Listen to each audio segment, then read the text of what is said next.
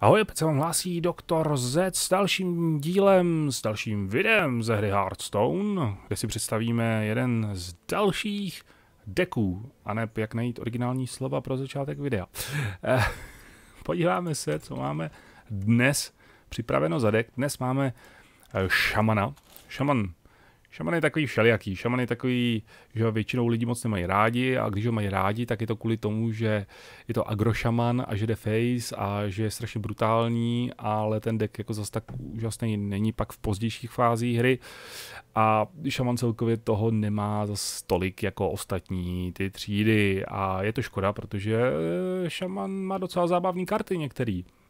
A je se randa za něj hrát, teda aspoň mě to, mě to docela baví a mrzí mě, že ty deky nejsou zas tak jak se říká, viable, že jo, že zase tak jako nejsou schopní přežít na tom žebříčku eh, v těch vyšších rancích. Ale dnes tady máme jeden z takových, uh, chci říct, levnějších deků, ale jsou tam dražší nějaký karty, takže uh, si připravte trošku uh, váš crafting, nebo hold, budete muset zajít nějaká dobrodružství, protože některé jsou potřeba některé můžete asi třeba nahradit, ale eh, naprostá většina z nich, eh, které, které si budete muset pořídit, tak stejně využijete i v jiných decích. Tak eh, začneme od těch nejdražších, což jsou legendárky. Máme tady doktora Buma a Loa Theba. Obě karty jsou v podstatě jedny z nejesenciálnějších legendárek, který najdete napříč všemi deky, takže Loa Theba najdete v Naxaramasu, nespomenu si v jakém křídle, ale určitě je potřeba téměř do každého druhého deku a doktora Booma můžete snad dát do téměř čehokoliv. Je to úplně jedno asi, ale ten je skoro všude.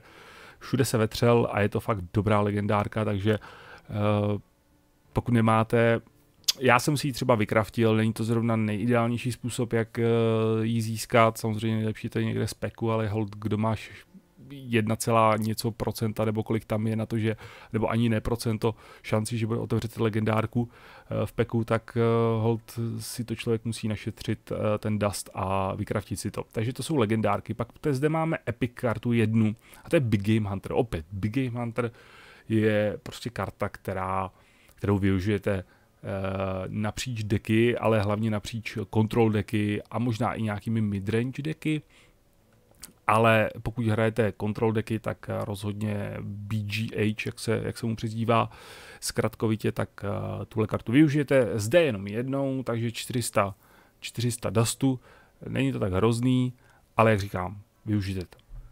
Eh, dále pak máme nějaké rare karty, Azure Drake, o tom už jsme se bavili několikrát, eh, nutnost potřebujete, Defender of Argus, užijete v x dalších decích, určitě bez pochyby. Manatite Totem, to už je jiná záležitost, to je speciální šamanská karta, tu zas asi tolik nevyužijete. Tady se hodí ovšem to eh, k tomu, že vám táhne karty, protože eh, můžete se docela občas přistínout při tom, že prostě nebudete mít co hrát, takže mana tady totem je poměrně, eh, se poměrně hodí. Lightning Storm, pokud budete hrát šamana, určitě využijte to AOE, teda eh, čistí, čistí vám board, je to kouzlo, který zasáhne všechny, 2 až 3 damage dělá všem. Eh, šaman je takový trošku náhodný, že, že, tam máte, že tam máte to 2 až 3, nebo v případě třeba Crackle 3 až 6 a tak dále, takže není to vždycky úplně přesná matematika, musíte někde riskovat a doufat a držet si palce.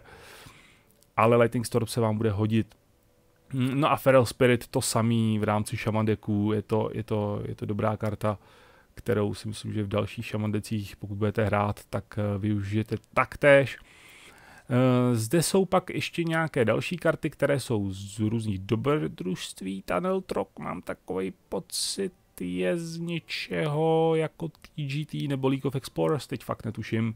Totem Golem, eh, ten je z TGT snad eh, a pak zde máme Tuskara, ale jsou to všechno command karty, takže ta šance, že to získáte je docela velká. No a nakonec, proč se to jmenuje Bloodlust Shaman? Protože máme Bloodlust dvakrát. Uh, Bloodlust vám přidá to daný kolo plus 3 všem minionům. Není to jak že by to přidalo útok eh, i vašemu, vaší postavě, vašemu hrdinovi, ale pouze minionům. No a tenhle deck je dost postavený na tom, že budete mít plný board minionů a pak když, nejenom minionů, totemů, jo, máte Tuskara, vyvolá totem a vaše, vaše hero power je taky vlastně uh, vytvoření totému nějakého. Takže Bloodlust neovlivňuje jenom ty miniony tady, ale ovlivňuje i vaše totemy, kteří pak uh, budou moci také útočit. A to je v podstatě vaše, vaše taková vítězná kondice. Tunnel Trok za jednu manu 1-3, poměrně dobré, stejně jako Manaverm, poměrně jako, stejně jako Northshire Cleric, ale on těží z Overload karet. Vy, to, vy třeba to, co hledáte, je první kolo Tunnel Trok, druhý kolo Totem Golem. Pak vám dá Overload, takže, totem, eh, takže Trok bude 2-3. Vy teda budete eh, na třetím kole mít jenom dvě many, ale pokud máte třeba minci, tak můžete zahrát ještě Tuskara třeba, eh, nebo, nebo něco takového. A nebo případně si Tunnel Troga nechat, pokud budete mít štěstí a budete mít to, Totem Golema na nějaký druhý kolo, tak si Tunnel Troga nechat pak na různé kombinace s Feral Spirit, s Lightning Storm, s Crackle, uh, s Fireguard Destroyerem a tak dále. Vzhledem tomu, že těží z těch uh, Overload karet a těch, že tady máte docela dost, jedna, dva, tři, čtyři, mm, pět, pět, pět, pět, šest, tohle to dává, nedává overload? Já myslím, že jo. Šest, šest karet. Dost. Každou máte dvakrát v podstatě, kromě Feral Spirit. Pojďme na to, pojďme na to. Ať to vidíte v praxi. Kecáme vždycky moc dlouho. A Bloodless Shaman. Nová sezóna. Tak by to mohlo jít dobře. Tenhle deck mám konkrétně teďka aktuálně na 16.10, takže 62% úspěšnost. A Myslím si, že jsem nějak, aniž bych nějak tryhardil nebo vůbec uh, hrál jenom, hrál jsem v podstatě jenom questy minulou sezónu a občas si zahrál na streamu nebo takhle. Takže nějaký rank 11 nebo něco takového. Ne primárně s tímhle dekem, ale uh, větší část toho uh, rankování, větší část toho působení na žebříčku právě obstaral, uh, obstaral Bloodlust Shaman. No. Poměrně na prd karty. Proti čemu stojíme? Tempomák. Dobře.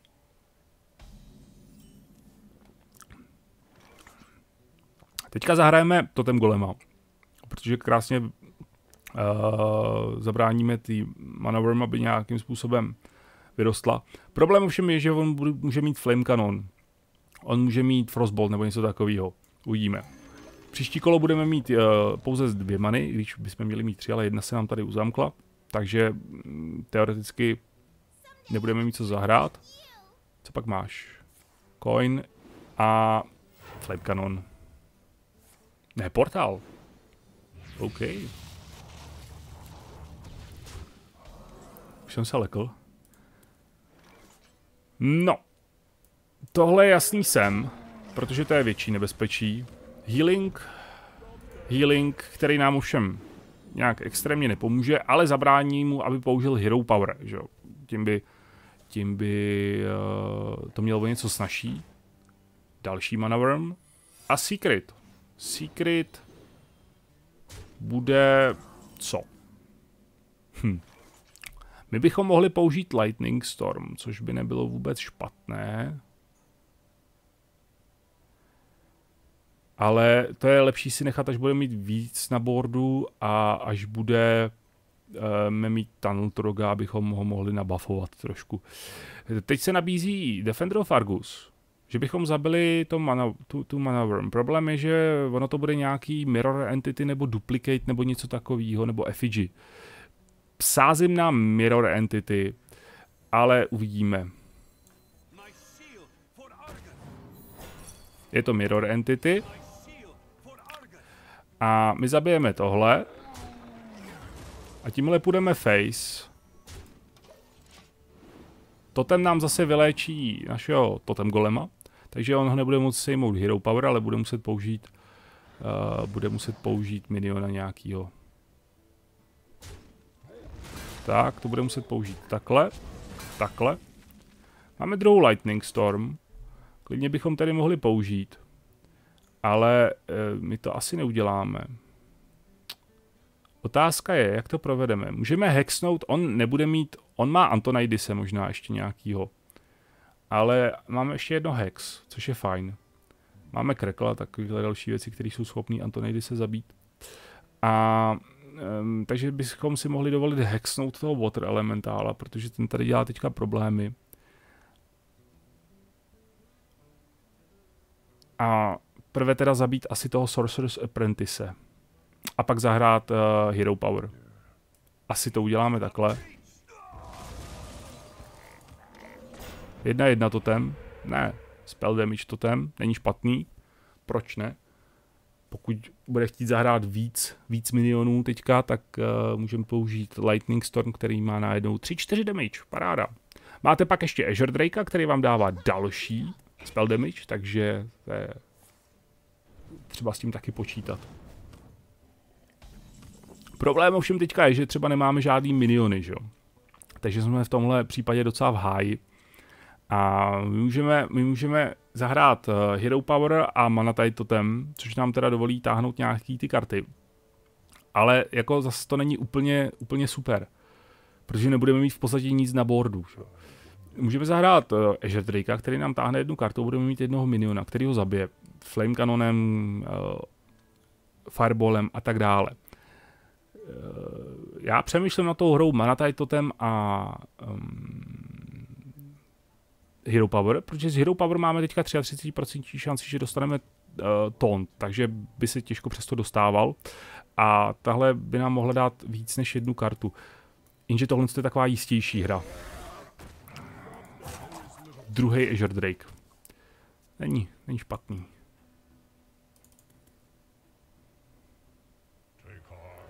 Karen Bloodhoof, OK. Nečekané, nečekané. Dostavil se na party, trošku nečekaně. A víte, že máme teďka double, double, uh, díky Azure Drakeovi double spell damage, takže bychom teoreticky mohli použít uh, Lightning Storm. Je, je, je pouze škoda teda, že nemáme toho Tunnel Troga. Teď by byl úplně ideální. Zahrát Tunnel Troga, zahrát Lightning Storm, kdyby dostal 5 damage, tak je to paráda. Zahrát Crackle, zabít toho druhého. Byli bychom úplně v klidu. Uh, škoda, ale zahrajeme to tak jako tak.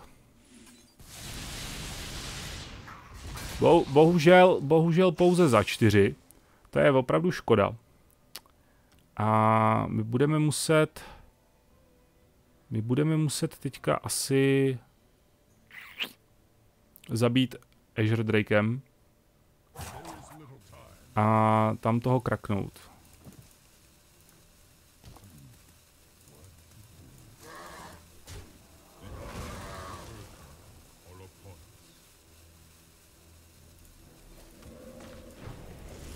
Doufejme za pět.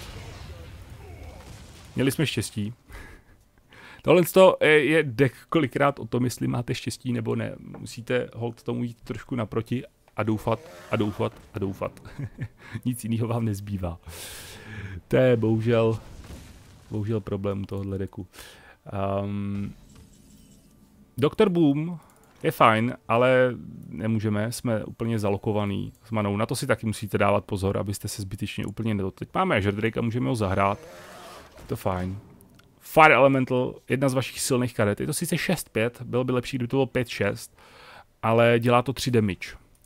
Frostbolt, tím nám to zabije.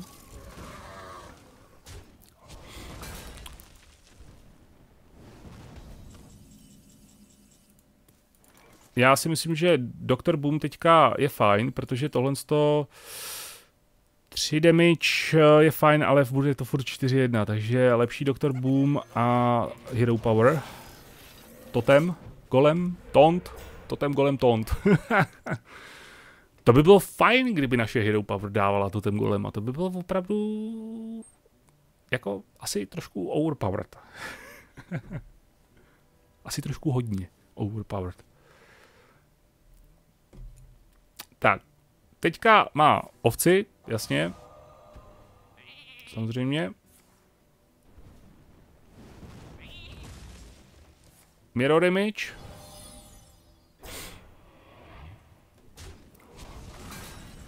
My máme Tantroga, což znamená jednu věc, že použijeme naši druhou Lightning Storm. Uh, hmm. Hmm. Hmm. Takhle, můžeme zahrát Tantroga Lightning Storm. Což tam, což je za čtyři a pak můžeme zahrát teda Manatai Totem, nebo Tuskara Totemika. Uvidíme. Uvidíme.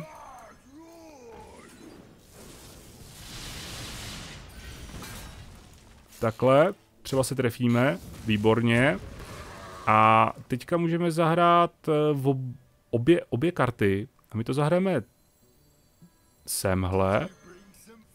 On může totiž vyvolat... Uh, oh, takže nemusíme hrát mana totem, to je fajn. máme, máme tady díky Tuskarovi máme zdarma mana totem, to je vždycky jakoby ta lepší varianta, protože hrát za 3, 3 manu 0-3, která vám pravděpodobně dá jednou jednu kartu, protože uh, lidi by to měli zabíjet, tu kartu, i když se mi párkrát už stalo, že ji fakt nechali jako půl hry, ji nechali bejt, i když ji mohli zabít, tak ji nechali bejt, což se mi zdá jako docela uh, jako docela špatný rozhodnutí. Dvakrát Fireball, chlapec to teďka zkouší hodně, já jsem bohužel loknutý, takže to je špatný, můžu použít jenom jednou uh, Bloodlust, což mi dá kolik? Uh, uh, 6, 7 máme a všem to dá 3, což je 15.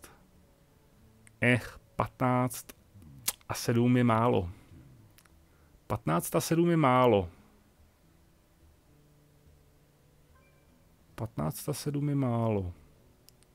Jak to můžeme zahrát? Můžeme to zahrát takhle?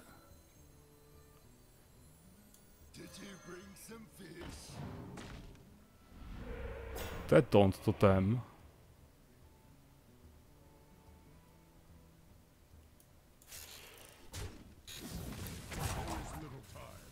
To nám úplně nevyšlo. Uh, co teďka?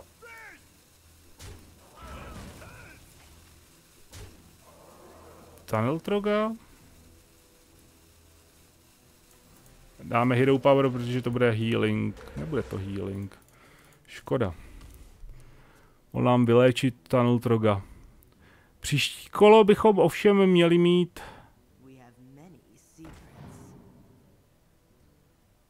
Příští kolo bychom měli mít Lethal. Double Bloodlust. Double Bloodlust nám dělá 6x3 je 18 a, a to je víc než dost, si myslím. Takže jdeme do toho. A bum. Byl to natěsno. Byl to natěsno. Ale byl to ten pomák. Takže s tím se hold musí prostě počítat. Ale takhle nějak by to mělo fungovat trošku. Jo, ke konci pak máte spousta, oni ty minioni, jako co máte, tak to jsou malí minioni, to jsou takový jako, nejsou příliš nebezpeční ty minioni, jo, jsou takový, jsou to totemy taky. Máte tam totem, máte tam 0,2 totem, 0,3 totem, jo, nebo 1,1 totem, to nevypadá vůbec nebezpečně, proč bych to měl zabíjet, no jenže mám jich tam pět, že jo, najednou dám Bloodlust, jednou dám dvakrát Bloodlust a jako takhle jste mrtví. Protože teďka, jestli jsem měl kolik, 6x3, 18x2, že jo, nějakých 36 damage, plus ještě to, co měli ty minioni jako takový, no, měl jsem toho víc než dost. Z čeho se zbavíme? Asi všeho. Je to paladin, bude to asi secret paladin, jak to tak bývá. Um, těžko říct, co, co, na něj, co si na něj nechat nevím, proti Secret Paladinu jsem překvapivě s tímhle dekem ještě nehrál. Já obecně jako těch Secret Paladinů za stolik nepotkávám na tom žebříčku, což je zvláštní. Člověk by řekl, že prostě furt slyším, jak oh, Secret Paladin tady, Secret Paladin tamhle, všichni hrajou Secret Paladina. A já jsem včera po dlouhé době potkal potkal jednoho. No. Nemáme co. Já bych dal Lightning Bolt. kdyby mi přišel. To by bylo krásný, protože on dostane plus jedna plus jedna, takže to bude dva tři. Uh, Knife Juggler je blbej, protože třetí kolo je Master for Battle a to se mi fakt nelíbí. Master for Battle... Eh, eh, eh. Uh, Lightning Storm by možná nebyl špatný, ale to je dobrý si nechat na to Master for Battle. Takže krakl. Dáme krakl. Ty kouzla, ono se to zdá třeba jako plejtvání, jo? že použít krakl zrovna, který je schopný dát, dát 3 až 6, nebo 5 až 8, když máte ty spell damage bonusy, ale uh, ono to není v podstatě plejtvání, že jo? protože to není váš finisher. Lightning Bolt bych potřeboval, prosím, děkuji. Lightning Bolt? To není Lightning Bolt, to je další Lightning Storm. To je jenom kdykoliv je zahraný secret, tak to jo. Um, takže dáme Tuskara Totemika.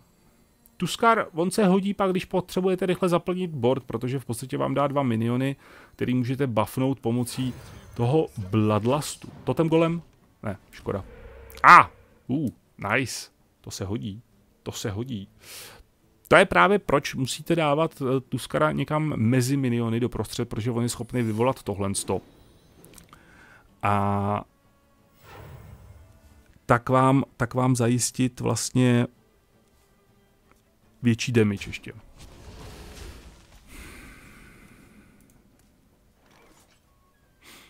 Co on zahraje za velký miniony? Těžko říct. Já jsem nikdy toho Secreta nehrál. No, akorát toho 6-6, jo. Hmm.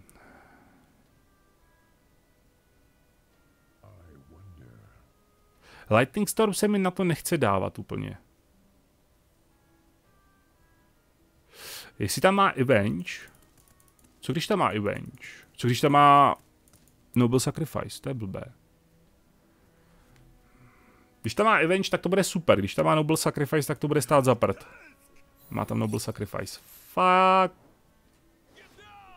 Yep. A má tam Avenge. A padne to na něho. Takže to bude takhle. Dobře. Jako dopadlo to... Mohl tam být, mohlo tam být Redemption nebo něco takového, ale dopadlo to ještě poměrně OK, i když ta Noble Sacrifice byla jasná, že tam bude. A je to škoda, že tam byla. Uh, teď možná bude mít Redemption, ale Redemption funguje na prvního zahranýho, ne? Pokud se nemýlím. Mohli bychom zahrát... Proč ten Tunnel Trok nepřijde? Teďka chci zahrát Lightning Storm plus Lightning Bolt, což jsou tři overload, takže by měl 4-3. Eh, to by bylo krásný. Hmm.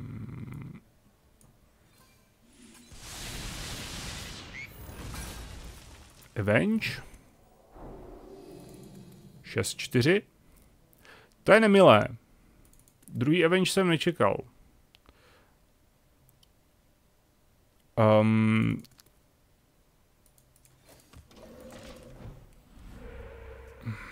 druhý event jsem nečekal.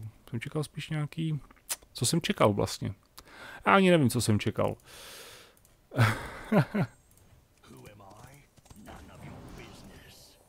OK.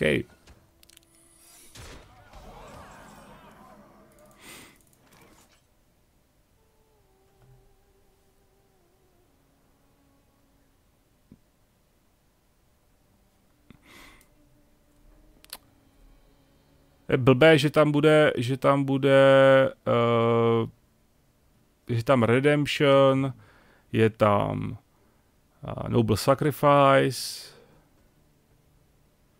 a takovéhle věci. Já buď to můžu hexnout něco. Já bych potřeboval zautočit na tohle, jenže to se nestane.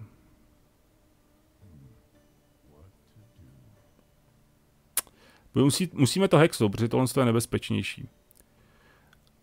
A popnem ten Noble Sacrifice. Uh, popnem ten Noble Sacrifice.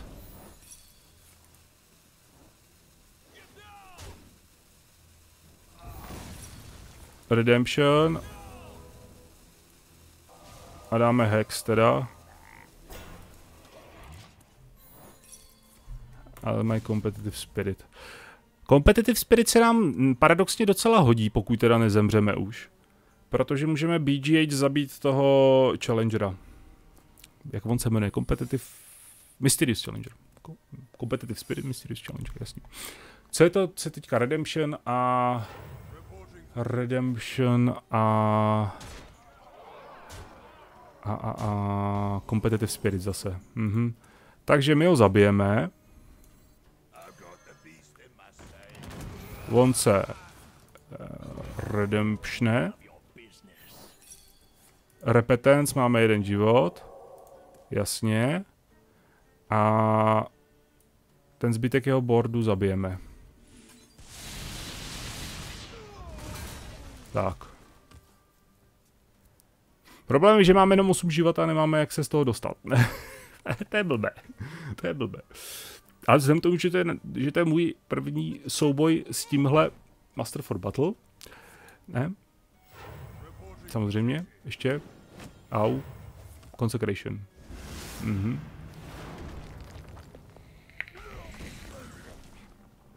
Je to můj první souboj s tímhle, s tímhle, nebo proti tomuhle deku.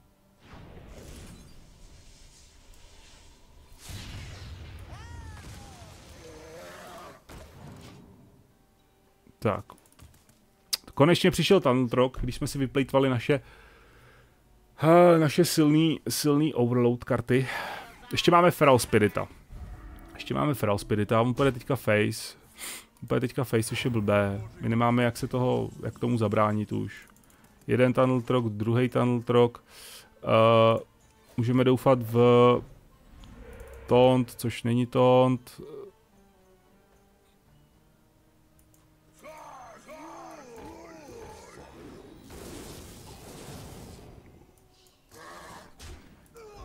Máme v podstatě tři životy teďka, takže pokud má nějakou přímou damage, jakože má ještě Consecration jedno, tak je po nás. Eee, to je špatný. Úplně jsme nezachytili ten začátek. Máš Consecration, máš Consecration, samozřejmě. I'm sorry, nejsiš, není ti to líto, přiznej to. no, tenhle deck ale je dobrý. Samozřejmě má svý mouchy.